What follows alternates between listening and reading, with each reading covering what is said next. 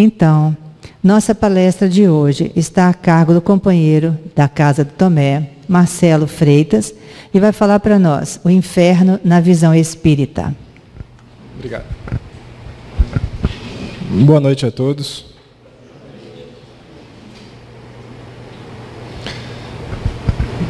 Quando falamos em inferno ou em céu, já existe algo positivo, que é o quê? É a expectativa, a crença ou a, a certeza, né, dependendo da pessoa, que algo continua após a morte do corpo físico. E isso numa doutrina espiritualista é fundamental, né, porque um dos objetivos do, do, Espiritismo e de qualquer religião cristã espiritualista é justamente o combate ao materialismo. Então, a, a, a crença que algo sobrevive à morte do corpo físico já é algo positivo. A diferença na doutrina espírita é que isso é feito com base em observação. Isso não é. Kardec, quando, quando escreveu sobre isso no, no livro Céu e Inferno, ele o fez com base em entrevistas de, de várias pessoas, né? que desencarnaram e que compartilharam as suas experiências quando encarnados e depois de desencarnados, e como foi o, o passamento, né, a morte do corpo físico. E, e esse conjunto de experiências é, fez com que Kardec escrevesse algumas considerações que podemos ter como base para entender como, como funciona o, o, plano espiritual e o seu, sua conexão com o nosso plano físico. Né? A, a, doutrina espírita, né, em todos os aspectos, inclusive no estudo de hoje, ela é sempre pautada nessas, nessas cinco, nesses cinco pilares. Né? Temos como base sempre Deus como princípio de tudo, a inteligência suprema, causa primeira de tudo que acontece no universo, é o seu amor que nos criou, que nos sustenta, e é graças a ele que estamos aqui caminhando. Né? A imortalidade da alma é justamente essa, essa que falamos anteriormente, que algo continua após a morte do corpo físico. Né? Somos seres de natureza espiritual. Então, apenas o corpo morre, nós continuamos vivos. A reencarnação é que, a, além de continuarmos vivos após a morte do corpo, né, o nossa, a nossa criação Somos criaturas de Deus e esse, esse ponto de início não foi quando viemos aqui a este mundo. Né? O nosso ponto de início, a nossa criação, foi bem anterior a isso. Né? Já, já estamos, já existimos a, de longa data. E, e, essa experiência que estamos aqui agora, é, acho que na doutrina espírita chamamos de encarnação, é mais uma de, muito, de muitas outras que temos né? na nossa, na nossa, nosso aprendizado. A mediunidade é justamente a possibilidade de intercâmbio do plano físico com o plano espiritual. E é justamente por isso que Kardec conseguiu escrever a doutrina espírita. Né, como falamos, o céu e o inferno, que é a base do estudo de hoje, foi escrito com base no depoimento de pessoas que passaram por aqui, pessoas comuns, de vários níveis de evolução, né? e pessoas mais evoluídas, e, e pessoas com problemas, enfim, e que deram seu depoimento e permitiram a Kardec escrever sobre isso. E a última é a pluralidade dos mundos habitados, porque para fechar esse conjunto, porque consideramos que somos espíritos imortais, vamos continuar existindo, vamos continuar sempre a nossa caminhada. Mas sabemos também pelo estudo da física e da, da astronomia que o nosso planeta vai deixar de existir como existe hoje. Né? O sistema solar também vai, vai sofrer transformações. E se, se ficássemos limitados apenas a, a este planeta, como é que poderíamos ser seres imortais se limitássemos apenas a este planeta? Então, para que essa conta feche, nós, nós somos seres do universo. Né? A, a, as várias moradas na casa do Pai são os vários mundos espalhados pelo universo. Dito isso, começamos, comecemos o nosso estudo então. Para começar o passamento, que seria a, a morte do corpo físico, né, como nos sentimos nesse momento, a primeira consideração é lembrar que somos seres espirituais e temos um corpo espiritual que envolve o espírito, que delimita o espírito. Né, como a gente viu na leitura preparatória, os espíritos desencarnados não são chamas que vagam por aí. Não, são pessoas que têm um corpo, um corpo espiritual, que na doutrina espírita chamamos perispírito. Quando encarnados os espíritos, além do perispírito, do corpo espiritual, esse corpo espiritual se liga ao corpo físico. Né? Que é esse que bem conhecemos. Outro ponto fundamental é que por que, que existe a separação da, da alma, né, do nosso corpo espiritual, do corpo físico? Devido à morte do corpo físico. A gente se separa porque o corpo para de funcionar. Nós só conseguimos ficar ligados ao, ao corpo se ele estiver vivo. A partir do momento que ele para de funcionar, a gente se desliga. E esse, desliga, esse desligamento ele nunca é automático, nunca é instantâneo.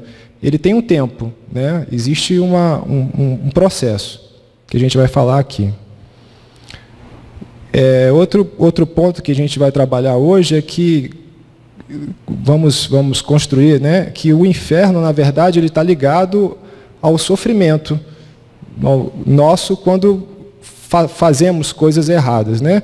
E esse sofrimento ele é a, é a consequência de atos, então, contrários à lei divina. Ele é a consequência das nossas imperfeições. Erramos porque somos ainda espíritos imperfeitos. E assim, e, e a consequências da, de, desses erros gera, gera sofrimento. É, é o sofrimento que vai criar situações para que a gente volte ao cumprimento das leis divinas. Podemos fazer a associação com o GPS do carro. Quem, quem, quem já usou alguma vez sabe que você coloca um destino e o GPS traça uma rota, um caminho para a gente seguir para chegar àquele destino almejado. Se a gente erra a rua, pega um caminho errado, né, o GPS recalcula a rota e coloca um caminho para que você consiga chegar no seu ponto de destino. A lei divina é exatamente da mesma forma conosco. Né? Nós temos um caminho planejado. Se erramos, se cometemos erros, a providência divina vai reestruturar esse caminho, vai fazer, colocar coisas, vai colocar novas possibilidades para que a gente consiga caminhar. E muitas vezes o sofrimento é que nos impulsiona nessas, nessas mudanças. A, a sensação dolorosa da alma por ocasião da morte, da separação do corpo, vai ser sempre proporcional aos pontos de contato entre o corpo e o perispírito. Né? Por, como a gente falou, durante, após a morte do corpo físico, ou até mesmo antes, se, se, dependendo da situação, o perispírito começa a ser desligado do corpo. Né? É, depois que o corpo físico para de funcionar, que acaba a vida orgânica, né? vai haver vai haver dor, o, o espírito vai ter a sensação de dor dependendo dos pontos de contato. A gente vai avançar mais nesse, nessa, nessa, nesse ponto aqui. Esses pontos de contato que ligam o, o espírito ao corpo, eles podem estar com a força muito grande, eles podem estar bem coesos ao corpo, eles podem estar já mais com uma ligação mais fraca, uma coesão mais fraca. Então, dependendo do caso, ele pode estar mais forte, mais, mais fortemente ligado ao corpo ou mais uma coesão mais fraca, né? dependendo do caso quando a coesão, a, a, força de ligação do espírito com o corpo físico está mais fraca, isso vai proporcionar a separação de forma mais fácil, mais rápida e sem abalo ao espírito. Quando é que isso acontece normalmente, na maioria dos casos? A morte natural, por exemplo.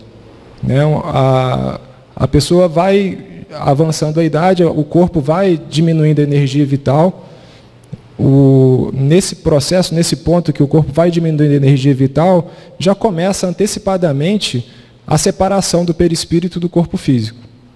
Essa separação é bem tranquila, bem devagar, de modo que quando cessa a vida orgânica, o, o espírito já está praticamente desligado, a coesão já é muito fraca. É, então, a separação fica fácil e sem abalo. Por outro lado, se, se a, a separação ocorre no momento do auge da força, né? Uma pessoa jovem, hoje 20 anos, por exemplo, 20 a 30 anos, é, no auge da sua força, e, e, a, e ocorre uma morte violenta, por exemplo, que gera desencarnação, essa ruptura né, esse desligamento vai gerar um, uma, uma sensação de dor sobre a alma. E outro ponto que Kardec observou também, entrevistando vários espíritos, é que se após a cessação completa da vida orgânica houver ainda pontos de contato entre o corpo e o perispírito, a alma poderá ressentir-se dos efeitos da decomposição do corpo. Esse caso já é mais, já é mais raro e observado em, em alguns casos de, de, de quando a pessoa de suicídios, né? As pessoas que se suicidam pode, podem pode acontecer isso, não é que vai acontecer isso, é uma possibilidade. Para contrabalancear essa esse desenlace do corpo físico ao perispírito, né, desligamento do perispírito do corpo físico, há também uma perturbação nessa transição da vida corporal para a vida espiritual. Então essas coisas acontecem simultaneamente. Uma pessoa de morte natural, que, que tem o desligamento, como a gente comentou, fácil e sem abalo, que o, o perispírito já vem sendo desligado anteriormente à morte do corpo físico, essa perturbação ela é muito pequena. É como se fosse um sono bem leve, que o espírito rapidamente se desperta já no plano espiritual com tranquilidade. Por outro lado, se essa ruptura ocorre no auge da sua força, da ligação do perispírito com o corpo físico, através de um acidente, por exemplo, essa perturbação ela vai servir de anestésico. Então, se eu me envolvi num acidente, que eu desencarnei, mas eu não dei causa a esse acidente, eu fui uma vítima desse acidente. Né? Não seria justo eu sofrer por isso.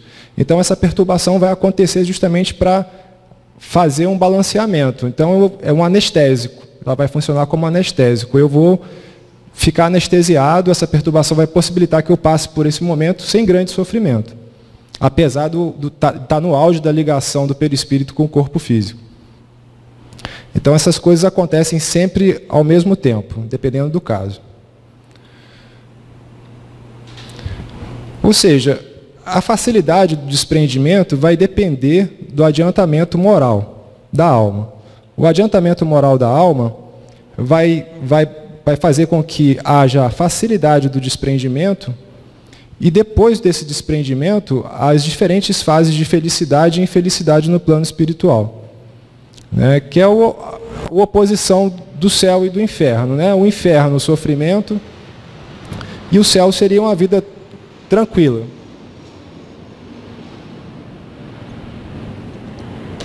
O que vai determinar, então, todo esse processo é o adiantamento moral do espírito.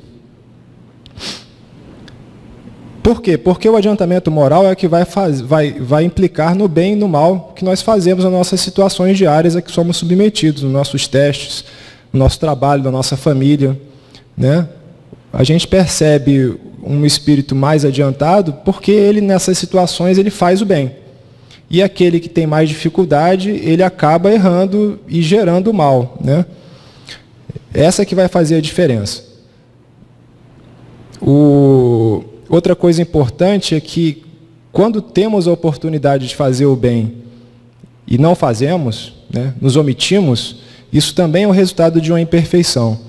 Isso também nos gera, pode nos gerar problemas futuramente. Né? Um espírito mais evoluído, ele vai fazer o bem sempre que, que, que ele tiver a possibilidade de fazê-lo. Ele vai aproveitar as oportunidades. E isso vai vai ser a consequência disso, de fazer o bem, vai ser justamente a facilidade na, da transição do, do, da, na morte do corpo físico e após essa transição de como ele vai ficar no plano espiritual.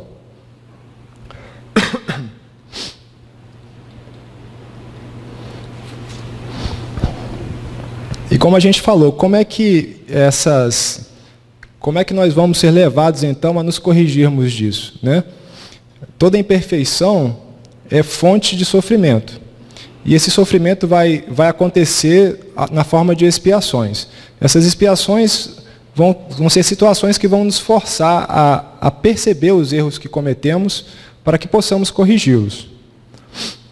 Né? Ela, a, a, a expiação vai fazer com que a gente possa dirigir a nossa atenção para os nossos, para os nossos problemas. Né? Por que, que erramos?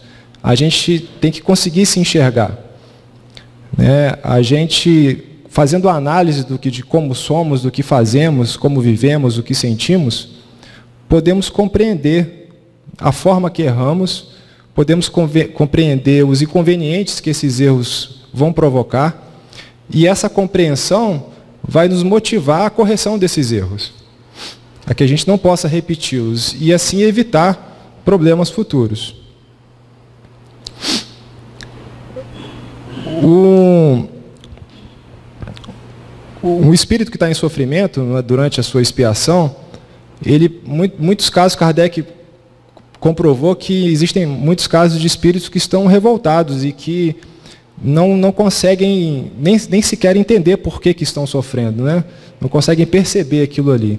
E eles acabam se prolongando muito tempo nisso. Até que, devido às orações de, de pessoas amigas, né, de, pessoas da família, essas, esses espíritos em, em, em expiação, em, em, sofrimento, eles conseguem perceber, começam a conseguir, começar a enxergar o, o, o motivo do sofrimento. Começa a conseguir enxergar o que foi que eles erraram, que a, a causa daquele problema está realmente dentro deles, nas suas ações. Quando o Espírito consegue perceber isso, isso é o começo do arrependimento. E quando a gente consegue, consegue compreender os nossos erros, a gente consegue se enxergar como pessoas falíveis, esse, esse arrependimento ele vai fazer com que a expiação seja mais suave. Você vai passar por esses problemas de forma mais tranquila. Você vai compreender que você não está sendo é, torturado pela lei divina, e sim que você está sendo educado. A gente, aquilo ali é uma forma de educação, que você possa mudar a sua forma de agir, mudar a sua forma de pensar, né, que está gerando, está fazendo mal a outras pessoas, que você tem que perceber isso e tem que mudar a sua forma de agir. O arrependimento vai fazer com que possamos perceber a expiação de uma outra forma. A gente vai continuar passando pela expiação, mas vamos conseguir passar por ela de forma melhor, mais serenos. E como é que a gente vai destruir esse sofrimento? Como é que a gente vai destruir essa, esse, essas coisas que nos incomodam, que fazem com que, que, tiram, que tiram a nossa tranquilidade? É a reparação do mal que, que fazemos. Só a reparação do mal que, tem, que, que já tenhamos, tenhamos feito consegue acabar com o sofrimento. Né? Então, temos que refletir, pensar no que, no que fazemos, no que falamos, e não basta se arrepender. O arrependimento é o primeiro passo, mas para que a gente possa ficar tranquilos, a gente tem que reparar o mal que fizemos.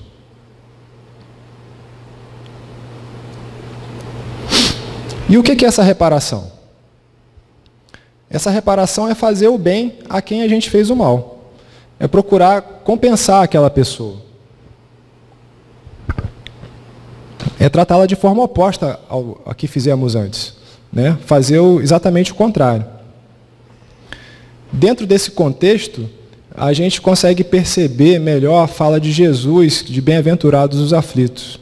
Né? Como bem-aventurados os aflitos? Porque na hora que eu percebo que apesar de estar passando por uma expiação, por um processo difícil, né?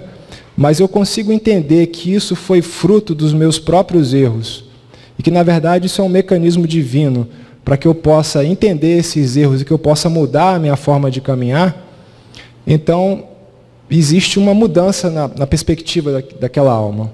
Aquela alma vai olhar para frente com novos olhos. Vai então pedir a Deus uma forma de, de reparar aqueles erros. Né?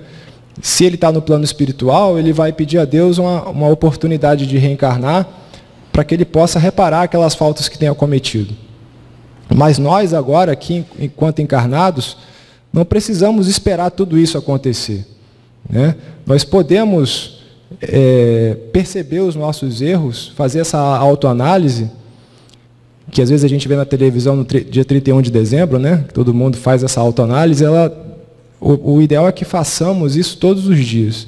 Todos os dias possamos refletir no que pensamos, no que fizemos, né, no, no, na, na, na, no resu, nos resultados das coisas que dissemos e que fazemos que causaram constrangimento, que causaram dor para alguém, para que assim possamos mudar a nossa forma de agir.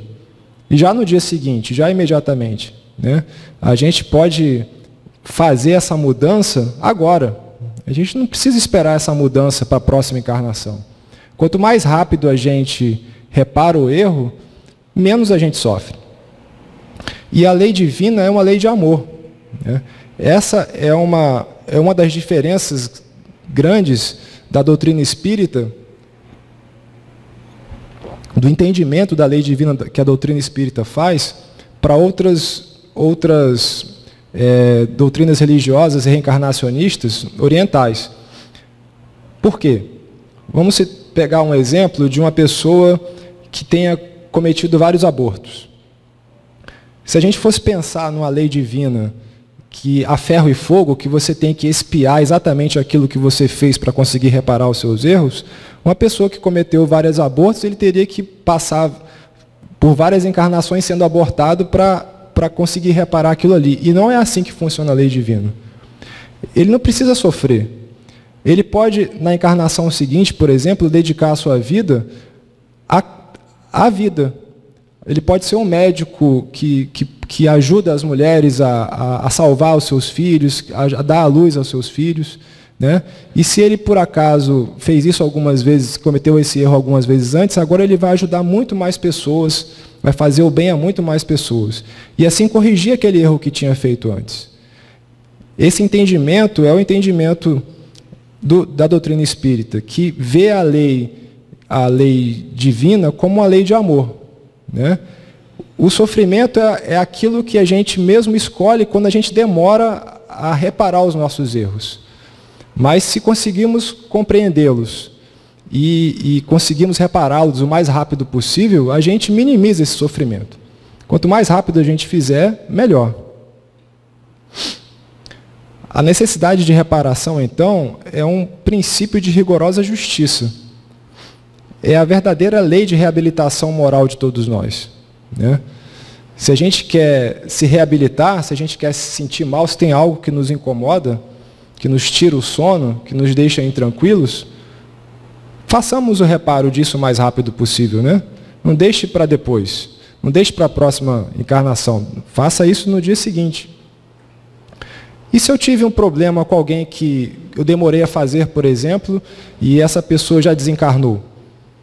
Eu vou ter que esperar chegar no plano espiritual? De forma alguma. Eu posso fazer esse. Essa, eu posso mostrar essa mudança de atitude agora. Se eu não tive mais a chance, não deu tempo de, de, de reparar aquele erro com aquela pessoa, eu faço isso com outras pessoas. Eu me filio a uma organização não, não governamental que ajuda, enfim, pessoas em necessidade, que, que onde eu possa desempenhar aquele papel que eu não consegui fazer a tempo. Né? E assim, a, a, o espírito desencarnado vai perceber que eu mudei, que eu mudei a minha atitude, que eu não sou mais aquela pessoa que cometeu aquele erro. Né? E fica mais fácil dele conseguir nos perdoar também. E assim podemos caminhar com mais tranquilidade. E o purgatório? Purgar, no dicionário, significa limpar, purificar. Né?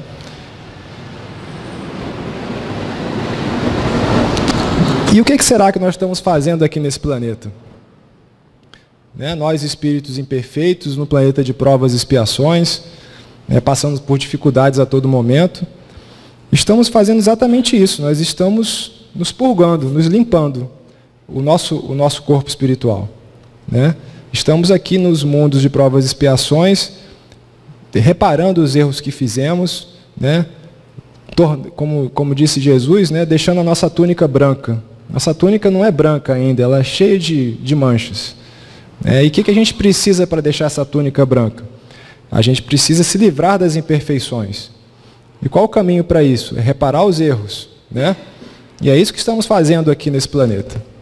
Então, se dentro desse, desse entendimento, o purgatório é aqui mesmo. Estamos dentro dele. E expiações. Né? Para, como disse Jesus, bem-aventurados os aflitos. Né? Quando a gente percebe o erro que comete e tenta corrigir aquele erro, a gente brilha, né? A gente aquela aquela aquela chama que está dentro do nosso coração começa a brilhar, e a gente começa a agir diferente. Mas infelizmente nem todos conseguem fazer isso, né? Às vezes passam a vida toda errando e ainda se gabando do erro. A gente vê isso muito. Infelizmente, nesse processo político que passamos no país conturbado, a gente vê muitas vezes pessoas se equivocando nas suas ações, na direção que dão do cuidado, no cuidado público, e às vezes não percebem isso que estão, o erro que estão cometendo, né? Num cargo que eles deveriam dar, agir em, prol da coletividade, estão agindo em benefício próprio. Mas vejam que, que, que durante toda a vida, toda a encarnação, eles vão ter possibilidade de mudar esse entendimento. Né? Coisas irão acontecer para que eles percebam esses erros. E se eles insistirem nesses erros, eles vão ter dificuldades depois no plano espiritual. Né? Vão passar por expiações que, até que eles consigam perceber o que estão errando. Mas isso não são só eles, isso somos todos nós. Se nós estamos aqui no mundo de provas e expiações, temos problemas para resolver. Né? Alguns têm problemas para resolver com a parte é, de moral, outros com a parte de. Enfim, mas todos nós temos algo para fazer aqui. Ninguém está aqui, Deus não se engana. Né? Nós não estamos no mundo errado. Se, se, estamos aqui é porque energeticamente a gente combina com o planeta Terra, do jeito que ele está agora. Então a gente tem que aproveitar a oportunidade para corrigir, para nos melhorarmos. E aqueles que não o fazem durante a encarnação vão passar por, por expiações no plano espiritual. Que tipo de expiações Kardec percebeu? Que ele na entrevista com os espíritos encarnados que narram em céu ou inferno. Um, algumas expiações, por exemplo, alguns espíritos não percebem que desencarnaram. Eles voltam para casa e tentam conversar com a família, a família não dá atenção para eles, né, eles continuam ali e não sabem o que está acontecendo, vão ao local de trabalho e, e as pessoas não cumprimentam, não falam com ele. Isso pode ser um tipo de expiação a que é passado o espírito para que ele consiga perceber os seus erros.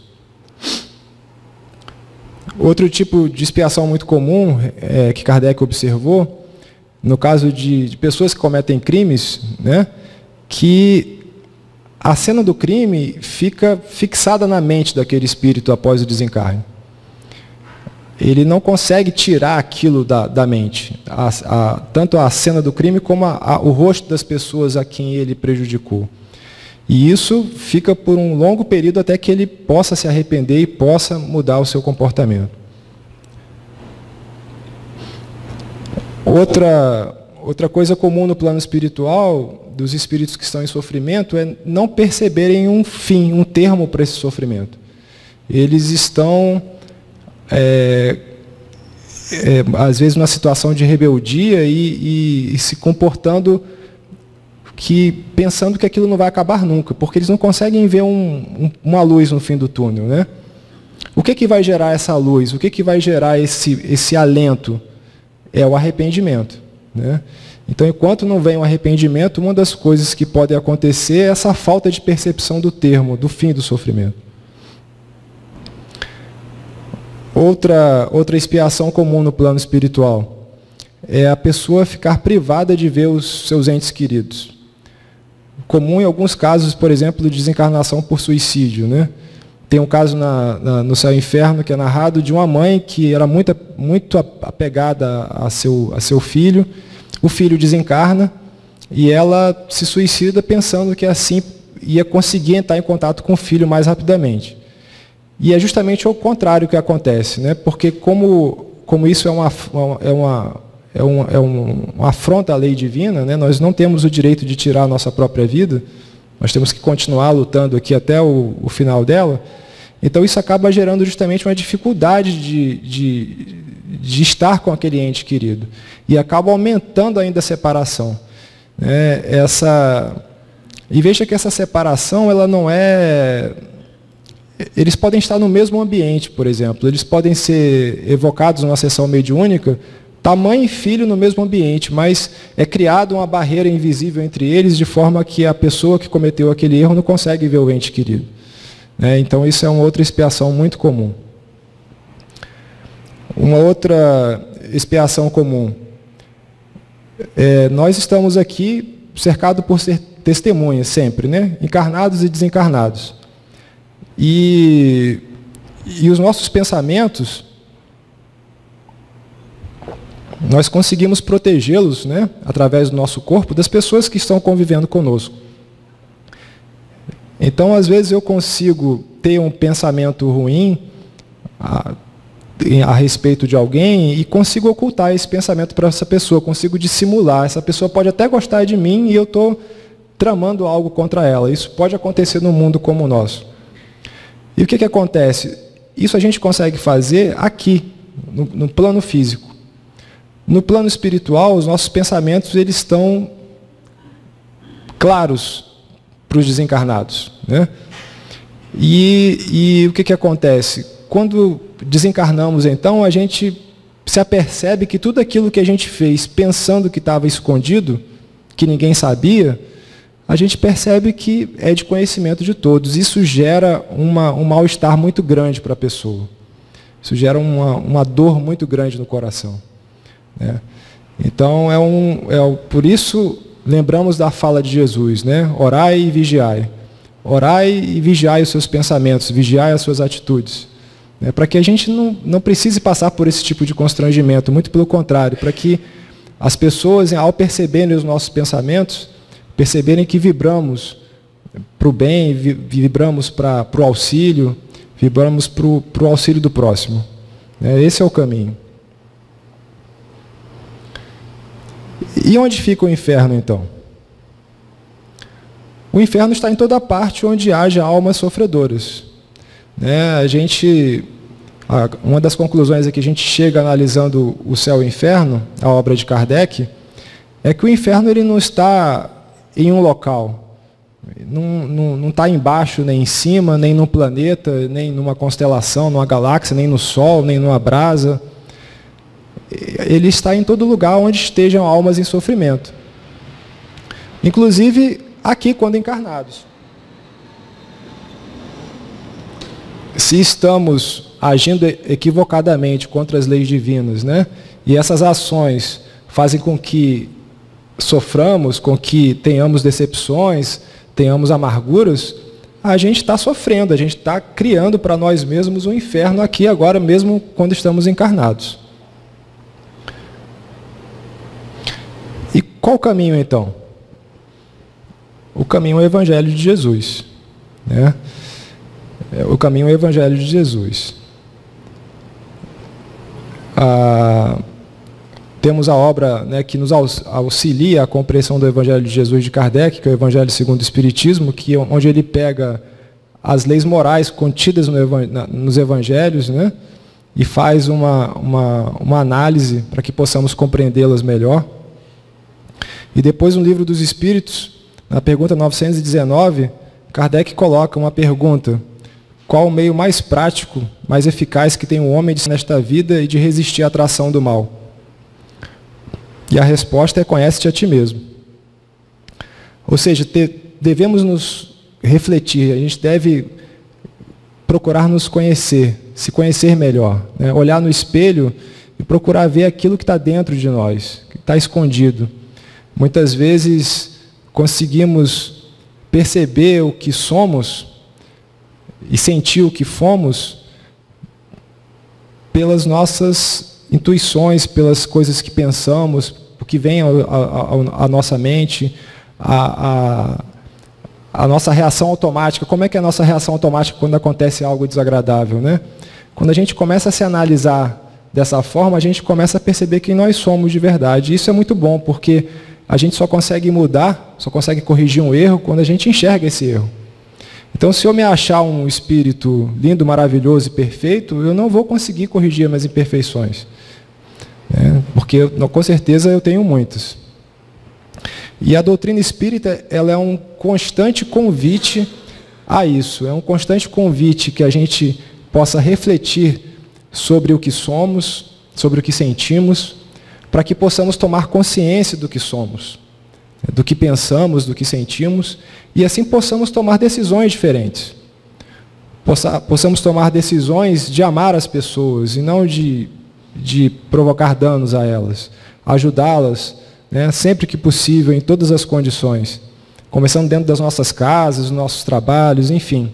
É muito fácil a gente se comportar como uma boa pessoa aqui dentro do centro espírita, dentro de uma igreja, né, em que as condições são boas, as pessoas nos tratam com amabilidade. Mas aqui a gente tem que pensar que aqui nós apenas tomamos fôlego, tomamos energia para que durante as nossas provas diárias a gente possa agir com melhor desenvoltura. E outra, outra ferramenta fundamental é a prece. Eu estava assistindo um filme há umas duas semanas atrás, fantástico, que tinham dois pastores conversando e um comentou com o outro assim, que estava triste, né? É que a prece, você já começou a orar, né? A prece que normalmente a gente usa como último remédio para as coisas, deveria ser o primeiro, né? A prece é a primeira coisa que nós deveríamos fazer. Deveria ser o nosso hábito diário, a nossa conexão diária com Deus, para que a gente se fortaleça, para que a gente possa compreender melhor as coisas que nos acontecem, para que a gente possa estar sempre em conexão com o nosso anjo de guarda. E muitas vezes nos esquecemos dela. E aí, depois que estamos cheios de problemas, começamos a orar. Né? Então, a prece é, um, é uma ferramenta sensacional que nós temos à nossa disposição e que deve ser usada sempre. E a doutrina espírita mostra que, mesmo quando erramos e quando cometemos, nos damos conta que cometemos erros graves, e que às vezes a gente, mesmo tentando corrigi-los, que a gente vê que não vai conseguir corrigir a tempo até o final dessa encarnação, né, a doutrina espírita mostra que nós temos um Deus misericordioso e que nos abre a porta para essa correção depois. Se a gente não conseguir fazer isso agora, nem no plano espiritual, a gente vai ter uma nova chance, um novo recomeço né, onde a gente vai ser, poder ser colocado ao lado daquelas pessoas em que nós temos coisas, a, a reparos a serem feitos, e a gente vai ter a chance de amá-las e de, e de, de transformar uma relação ruim em uma relação boa. É... Imaginem por que, que a gente esquece as coisas. Né? O esquecimento é uma dádiva divina. Imagine eu, dentro de uma, da minha família, convivendo com meu pai, eu tenho uma relação difícil com meu pai, eu tenho uma relação difícil com meu irmão. E, e, e, imagina se eu soubesse, se eu lembrasse que há 300 anos atrás eu tinha cometido algo muito grave contra ele. Né? Então isso ia complicar ainda mais a relação que já é complicada. Então a, a, o esquecimento das faltas, ela, ela faz com que a gente possa agir sem aquele peso aquele peso para trás daquela falta cometida, né? sem aquele olhar perqueridor dos nossos inimigos.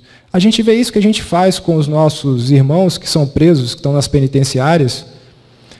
Depois que eles cumprem a pena, se eles cumprirem a pena até o final e, e, e voltarem para o nosso convívio, será que eles vão ter a, a, facilidade que eles teriam antes com a, com a ficha limpa? Será que eles vão ser tratados vão ter as mesmas oportunidades, mesmo tendo cumprido toda a pena, mesmo tendo se reabilitado completamente? Será que aquele erro não vai ser lembrado, né? Então, esse esquecimento ele é muito positivo, ele nos ajuda muito. Né? Devemos render graças a Deus por ele. E fica então aqui a, a, a, referência de leitura, né?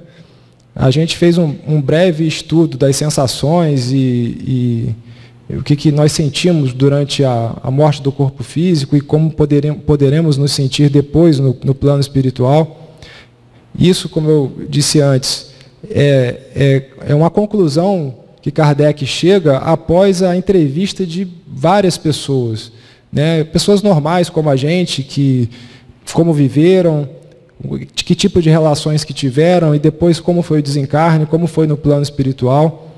E, é, e foi analisando a, a vida dessas pessoas que Kardec colocou essas considerações né, da, da relação do plano material com o plano espiritual. Então fica o convite para a leitura da obra O Céu e o Inferno, onde a gente pode ler diversas, diversas histórias de pessoas que tiveram problemas como nós temos, né? E que conseguiram dar soluções a eles e conseguiram resolver os seus problemas. E, e é uma obra fantástica. Ela está disponível na livraria aqui, em qualquer livraria da cidade e também na, na página da internet da Federação Espírita Brasileira para download gratuitamente. Também olhamos, fizemos algumas passagens aqui do Livro dos Espíritos, na parte quarta das Esperanças e Consolações, e do Evangelho segundo o Espiritismo, capítulo 17, Sede Perfeitos. Eu agradeço a oportunidade, né? rogo a Deus para que possamos meditar sobre todos esses conceitos que são muito graves. Né? A palavra inferno é uma palavra muito pesada, né? e... mas ela está de acordo com o mundo em que vivemos. É um mundo de provas e expiações, cheio de problemas, em que somos convidados o tempo todo a mudar a nossa forma de agir, nossa forma de pensar. Então, a, o caminho é, é, é entender essas relações do plano espiritual com o nosso plano físico, para que possamos, então, ter uma vida mais tranquila, ter uma relação melhor com as pessoas que, convive, que nós convivemos, que possamos amar as pessoas e assim possamos ter uma vida mais equilibrada né, e um sono tranquilo. Agradeço a todos, que Deus nos abençoe.